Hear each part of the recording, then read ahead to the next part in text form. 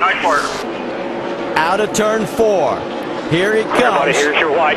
One Half a mile to go. It's been 939 days since a Dodge has tasted victory in the NASCAR Nationwide Series. And today it looks like they may go 1 2.